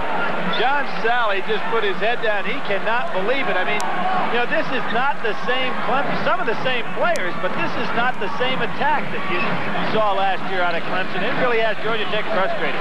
You know, people are wondering about the conditioning, Bill, in this game. Cliff Ellis ran double sessions in the preseason, so it certainly appears that the Tigers can run all night. It looks that way. He had to get out of bed at 5 o'clock in the morning to practice. There's Ferrell again, showing that patented jumper. He's going to be an outstanding player in the ACC. That's his career best in a very young career thus far. 19 points now for the freshman from Towson, Maryland. One of Hamilton's few mistakes tonight. Gave up the ball, and Corbett really wasn't in position to be able to make that catch. Wasn't even looking at it. He almost took his No, head off. It's, it's a very tough ball to catch. Did hit him in the face. hit him in the face, and he was traveling. A big possession for Georgia Tech. First time in a while they've had an opportunity to chip into the lead. Well, a long time to go, and with the clock on the entire game. There's Price coming out from behind the screen. That's two in a row for him. But with that 45-second clock, no lead is safe. And Dalrymple will be called for the foul. Had a good reach in, but the other hand was hanging out of the hip, it looked like. Yeah, he has one hand on the body. You can see him reaching in. He sits down real well on defense. Now here he reaches in with the left arm. Excellent call. Second personal on Bruce Dalrymple. Four team fouls on the Yellow Jackets. Referees are doing a fine job of this game because of the pace of it. They're allowing the players to play and not interfering with the activity. Which I think is a mark of excellent I was going to say, you don't even think they're out there. They allow the game closer. Raymond Jones, no follow, yes. I, think Joseph even got a piece of that one. That was a good, quick re-jump there by Raymond Jones after the miss. Good point, Jack, because they all are quick off their feet. And again, now they change defense again. 2-1-2 with McCants in the middle. Price from long range. He's warming up. That one shot and move he made on the baseline got him into the flow of the action. Now at this end of the floor, Billy, what can Georgia Tech do to try and slow down Clemson? Make some steal. and give it to Salley. And There is have the Cliff. Ellis call a timeout. And he'll call one right here. Let's watch this slam again as first the double team. There was the double team and two quick players on Hamilton. A great pass ahead by Dalrymple. Price realizes Salley's coming, and you just don't stop him here. Outstanding basketball. 9.56 remaining in the ball game. Clemson leading Georgia Tech 72-61. Back after this word from Budweiser.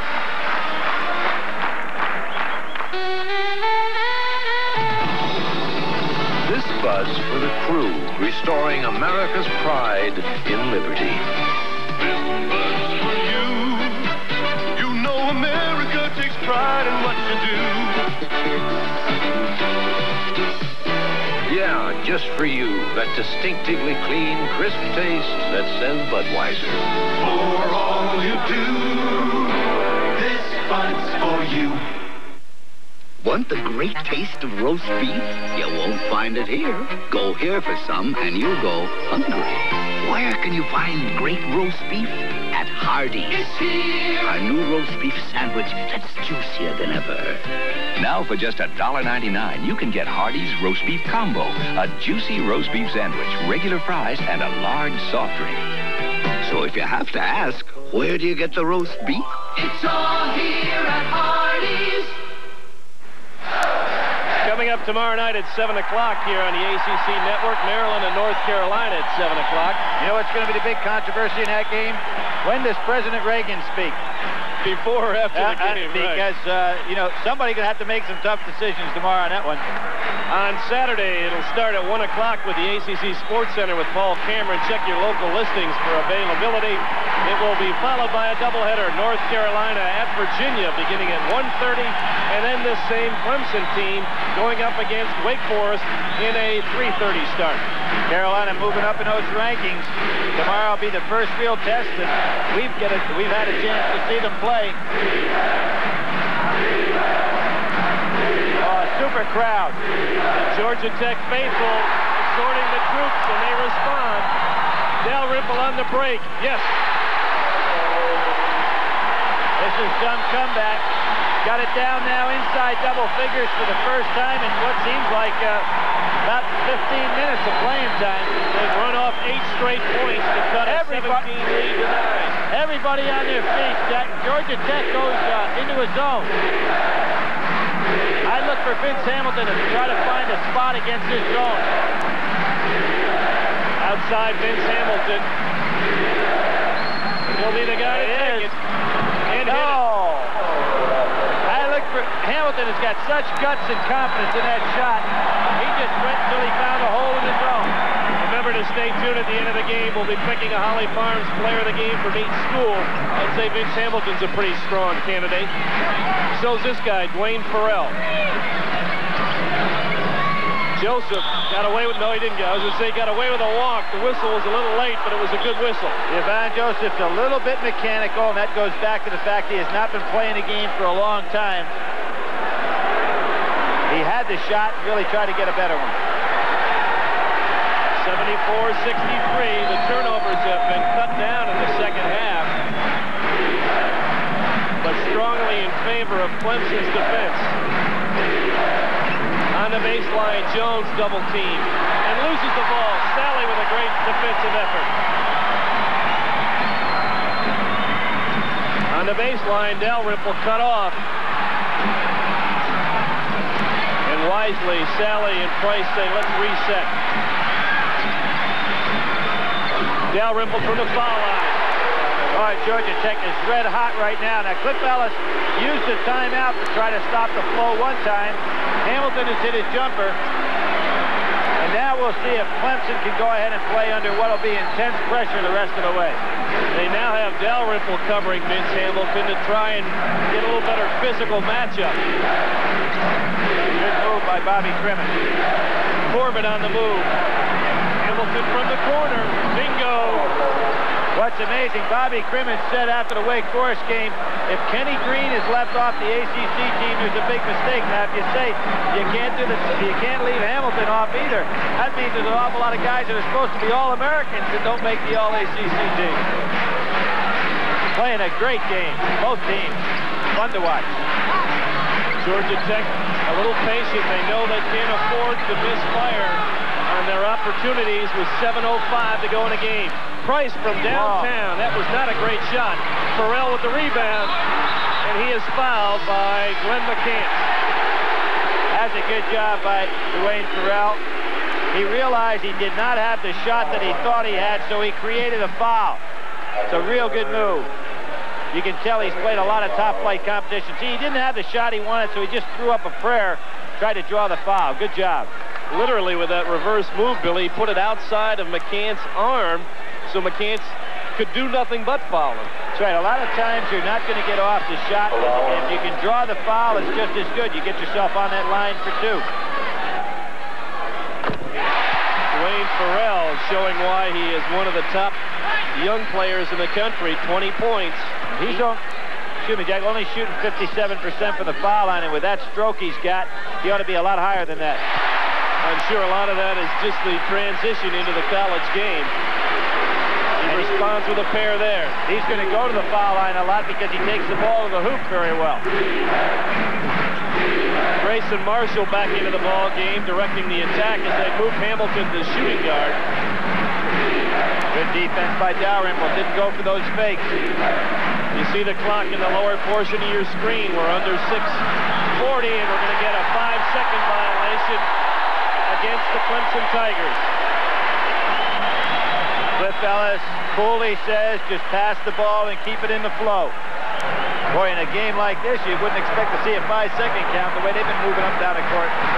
Another game that will perhaps, as you look at NC State with the victory over Virginia tonight, lob inside to Salley. This is another reason why they call this place the Thriller Dome. Boy, the Georgia Tech player has shown an awful lot of courage in this comeback. The Clemson lead is down to just seven. And a concerned Cliff Ellis watches his offense. Horace Grant on the move. Offensive foul. Yep, that's offense and no basket.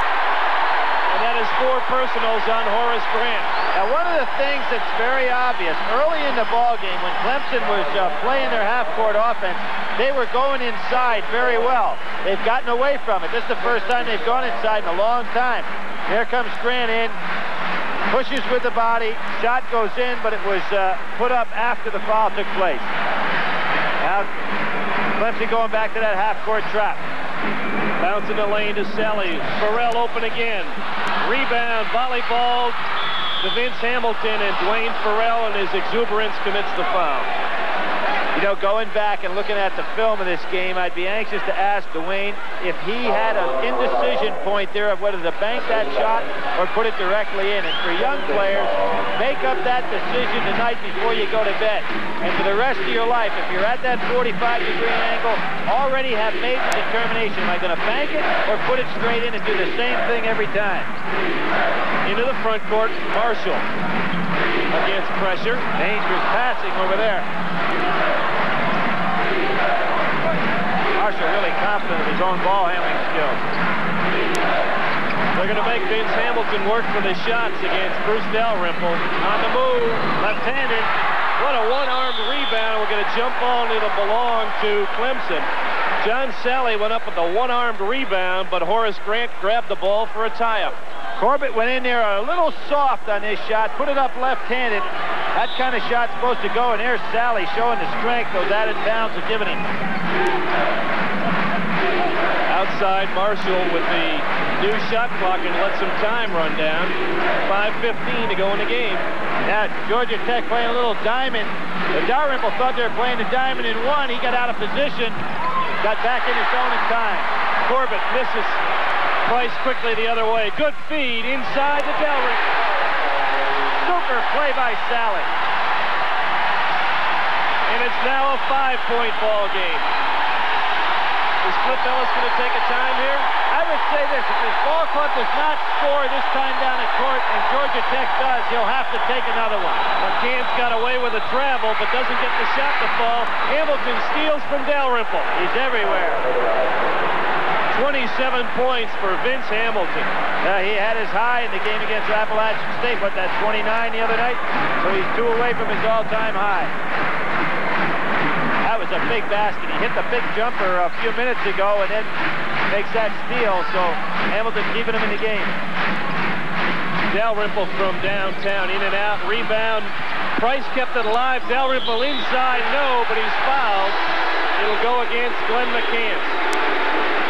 There's the case. Even when you're a small backcourt player, you have to learn to block out. There's Dalrymple going in again. He's so strong on the inside, gets that shot off. But what made the play is the fact that Marshall wasn't able to block out Price, and Price kept the ball alive off the boards. Four personals now on Glenn McCants. So Horace Grant and McCants with four apiece for Clemson. Yvon Joseph with four for Georgia Tech. They've gotten a lot of minutes out of Joseph out there with the four personals.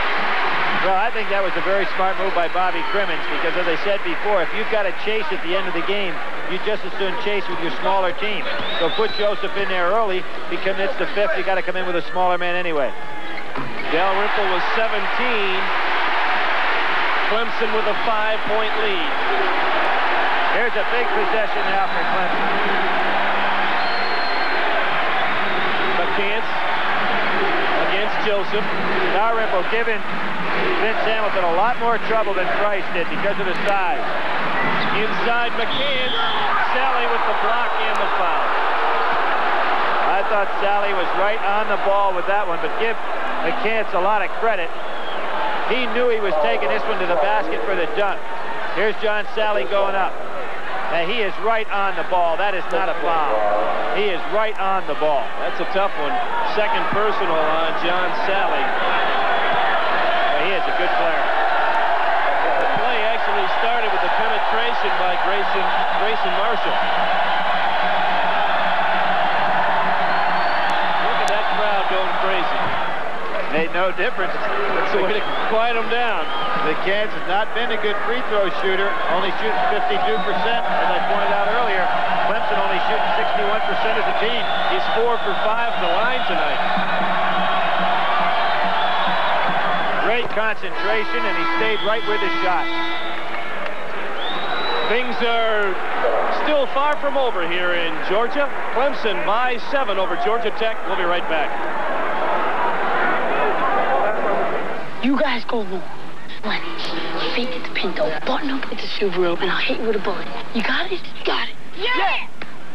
Hike. Watch him, watch him! Where you going? Over there. The new Subaru sedan is so much larger and more luxurious. Subaru! You probably won't recognize it.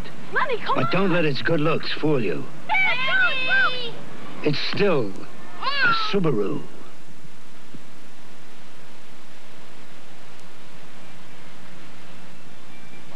Time was to plan a retirement. All a man had was hard work and whatever wealth he could muster. 10, 7 o'clock start. Then on Saturday, it will start at 1 o'clock with the ACC Sports Center with Paul Cameron. Check your local listings for availability. And then the doubleheader, North Carolina and Virginia, beginning at 1.30, followed by the second half of the doubleheader, Clemson and Wake Forest at 3.30. We have 3 minutes and 52 seconds of Hilder-Skelter basketball remaining here in Atlanta, Georgia, with Clemson holding on to a seven-point lead against the fast-closing Georgia Tech Yellow Jackets. Last year at this time, the clock would be turned off the last four minutes of the game. This year in the uh, the trial of the clock, the uh, clock does not go off at any point in the ball game, so 45-second clock on, so there'll be no delay game. Just some good hard-nosed basketball the rest of the way. Do you like that idea? Yeah, I think if you're going to have the clock, you might as well have it all the way. What I don't like is the fact in the NCAA tournament there will be no clock. So you play all year in one style, and then you've got to go back to another style for the tournament. Price off the glass, no. Oh! By Bruce Dalrymple. What touch! 19 points for the sophomore from Manhattan. Oh, that's a big turnaround, too, because Clemson was in business there with a working margin of seven points. Inside McCants offensive foul, and he is fouled out of the ball game. You talk about a four-point turnaround. Dalrymple's tap in. Right here, it's Clemson's ball all the way. Easy rebound. Dalrymple touches that ball, and it goes in the basket. He's some hustler. Glenn McCants fouls out of the ball game with 3.06 remaining. 13-point night for the junior from Columbia, South Carolina. Coming in to replace him, senior Raymond Jones. Jones back in with seven points.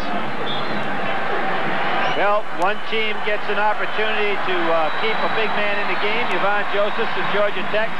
For Clemson, that's the first uh, man out. They still have Horace Grant on the sideline, so they have Grant's brother rather on the on the sidelines. If they got to come back in with another big man. Corral outside as Clemson is backed into a zone, with the exception of Marshall chasing Mark Price. Dalrymple. Yeah.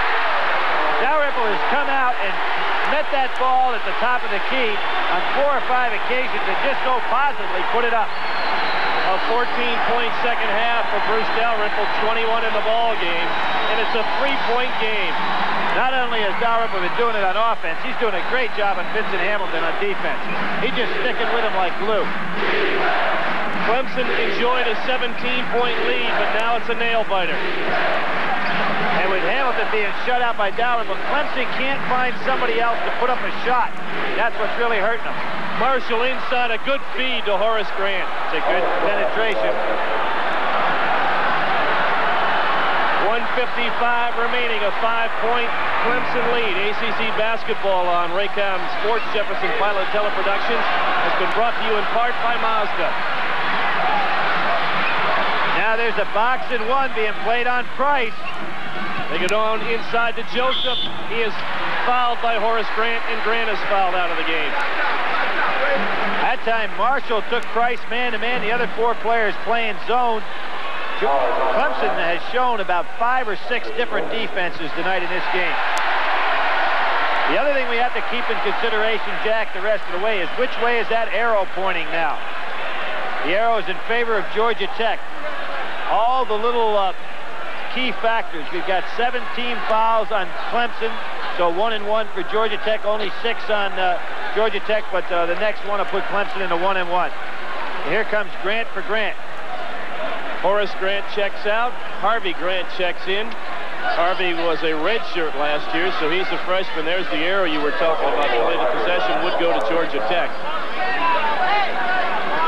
Harvey didn't play, obviously, as much as Horace last year and hasn't this year. But uh, you talk about identical twins, it's hard to tell those two apart. He had a real good game in the finals of the Music City Invitational against Vanderbilt with 11 rebounds as Yvon Joseph misses a big free throw. Joseph's a 76% free throw shooter. Look good on that one. Seven points for Joseph. A lead of four points for Clemson. Michael on the break, pulls up over Joseph. No, that's not a good shot to take. Price the other way. That'll be blocked. Over Hamilton, good defense. That was Vince Hamilton, and he can go up in the air. Not a good play by Hamilton. He made, just, made a good play at one end and then got a little anxious the other way. Well, he, he had Grant wide open. Rice goes up there. Hamilton really didn't block it, but he just forced the trouble, and Mark Price wanted to foul. 117 to go in the game. Bobby Cremins, as always, animated on the sidelines. A four-point Clemson lead. He could do a commercial for a dry cleaner after this game. You take a look at that shirt. Dalrymple still with the dribble. Good speed inside to Salley, who lost the ball out of bounds. Contact a little close. Salley wants a timeout. And that is the final timeout called by Georgia Tech. Let's watch that play again. Well, a little bit too much traffic right there to get a good passing lane. Salley almost gets his hand on it. His other hand was pinned. He just couldn't get control. Crucial turnover for the Georgia Tech Yellow Jackets. 61 seconds remaining in this game. Clemson on top by four. Once again, want to remind you that our ACC basketball action continues tomorrow night at 7 o'clock from Chapel Hill as the Maryland Terrapins take on the North Carolina Tar Heels.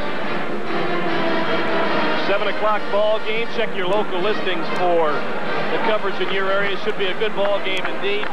We'll watch uh, Lefty Driesell's uh, club go against uh, a North Carolina team, Billy, that, as you said, quietly going about it because so many of their games have been far from home. Well, they have. They've played some good competition, handpicked their opponents pretty well, and some others uh, have played on neutral courts in most cases. They'll be back in the friendly confines of Carmichael tomorrow. Saw Maryland last week against NC State.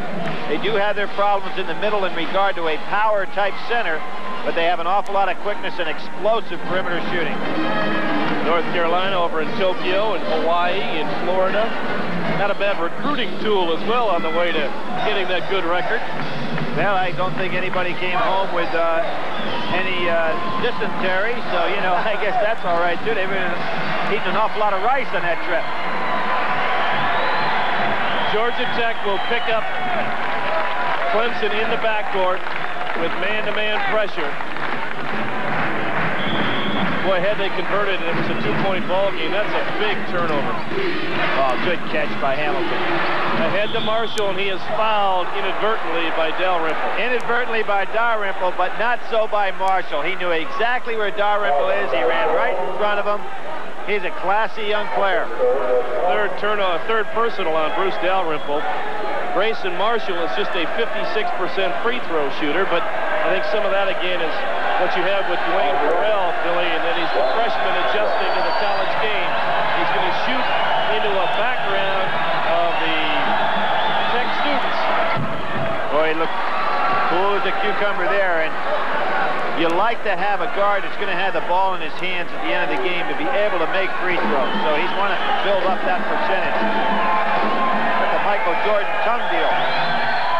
Because if it works for Jordan, it'll work for himself. Six points. That could have been all she wrote. Price all the way. Alley-oop, no. Rebound comes out to Michael. And Marshall ahead of the pack for the lay-in. That's the ball game. Big win for Cliff Ellis. First time in the history of Clemson University basketball that one of their coaches won his opening game in the ACC. Dalrymple loses the ball out of bounds, but they say it was last touched by Chris Michael. 37 seconds remaining in the game. Inside to Dalrymple. Dalrymple with 23, but it's not going to be enough. We get a foul in the backcourt by Dalrymple, his fourth. I don't see timeouts up there, Jack, but how many timeouts did Georgia Tech have? I think they're out of their timeouts because they had to use so many of them early in the second half. Well, all they can do is foul now the rest of the way. There's Cliff Ellis. What a job he has done getting this club off to a great start. Clemson, on the year. Georgia Tech would drop to 10 and 3. That shot actually threw something down at Marshall from out of the stands. He's got a right to be mad. You always have some idiot in the stands causing problems. It would have been interesting to see what the official would have done had he been hit on that. Now Bobby Cremins will stand up. He's a real classy sport. He'll ask these people to stop that. Our Holly Farms players of the game from Georgia Tech, Bruce Dalrymple with a great night. And from Clemson, another superb effort for Vince Hamilton with his 27 points. Holly Farms will contribute $1,000 to the ACC to be distributed to the institutions under a conference-approved plan in the name of these two players. Dalrymple in the lane. Rebound controlled by Clemson. Dalrymple got it back in his foul. If you're Raymond Jones, you do not want to commit a foul. You're better off letting the fella just go ahead, put the shot up, take your chances because you want that clock to keep running. 24 seconds remaining. An eight-point Clemson lead. Dalrymple on the night with 23 points. He is five of six from the foul line. If he makes this first one, this far down, well, it doesn't make any difference now, but this far down, he'd be smart to miss the second one because they need a lot of points in a hurry. Best effort for Bruce since he scored 26 in an exhibition against the Marathon Oil team that opened up the year. 24 now for Dalrymple. Ahead to Michael on the quick break. Oh, went in anyway. That ought to be, that ought to tell the story right there. If you're Georgia Tech, you say, hey, it was not in the cards. This ball is blocked and knocked out of the hands of Michael and goes in anyway. Long pass, good catch by Michael. You see right there on the wrist goes Mark Bright. The ball goes perfectly in anyway. I would say it wasn't in the cards. Chris Michael never got him any easier than those two. And if you're a Clemson fan, you think this team will sell some tickets up there? I said Death Valley before. What's the name of that gym? Littlejohn up there. Little they ought to sell some tickets to watch this team play. Rebound, Raymond Jones on the miss. Bruce Dalrymple is fouled out of the ball game. Bruce Dalrymple sits down after a good effort tonight with 24 points, 17 in the second half. But for Georgia Tech, Billy, here's a club. I take it back. That's only four personal, so they recount. As you look at a happy Cliff Ellis, but a concerned Bobby Cremins. This is two straight losses in the conference, and one of them here at home where they had only lost two games the last two years. Well, I would be willing to say that uh, any of the experts who sometimes I try to call myself one would have said Georgia Tech would probably lose at NC State. They would win at Wake Forest and win here. and everything has been just the opposite for them. Grayson Marshall joyfully throws the ball in the air as Clemson comes up with a surprising but most impressive 90 to 81 victory over the Georgia Tech Yellow Jackets. Georgia Tech, the ninth-ranked team in the country, but they fell prey to this guy right there, Cliff Ellis's club. As Cliff sets AC, or I should say at least Clemson history, Billy, First time a Clemson coach making his conference debut has come up with a victory. Cliff has really got to be pleased with the way things are going. He really has to. He has this team in incredible physical condition. They ran up and down this court as well as any team I've seen in the ACC, period. I mean, over the time I've been covering it, uh, the teams are in excellent physical shape. They know how to play the game. He's got some excellent athletes out there. It will be a tough team to beat. Tomorrow night on the ACC Basketball Network, Maryland and North Carolina. It all gets underway at 7 o'clock Saturday. ACC Sports Center with Paul Cameron at 1 o'clock. And the doubleheader, North Carolina and Virginia at 1.30. Clemson at Wake Forest, a 3.30 start. This ACC telecast has been a presentation of Raycom Sports and Jefferson Pilot Teleproductions.